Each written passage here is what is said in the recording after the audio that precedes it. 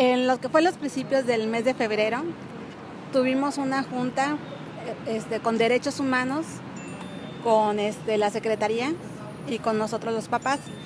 En esa fecha, nosotros firmamos un acuerdo con la Secretaría donde estábamos solicitando la preinscripción para primer año. Se firmó la preinscripción para primer año que fuera de forma regular.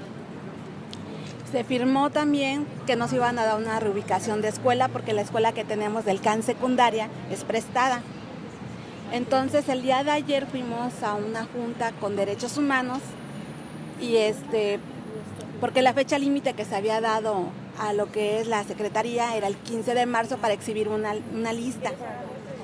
Esta lista la hicieron llegar el día de ayer este, la Secretaría de Derechos Humanos, por eso fuimos a checar qué alumnos habían quedado para primer año.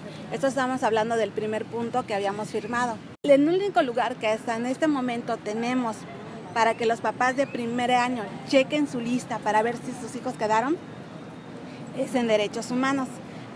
Entonces los papás pues dicen, pues también debe... ¿Por qué tenemos que ir a derechos humanos cuando en la escuela podían exhibir esa lista? Porque ya llegó y ya creo que tenía como dos o tres días, pero tenemos que trasladarnos a derechos humanos para, para, checar, esa lista. O sea, ¿por qué tenemos que estar eh, nosotros trasladándonos o buscando los medios cuando nuestros hijos tienen derecho a una educación de calidad e inclusiva?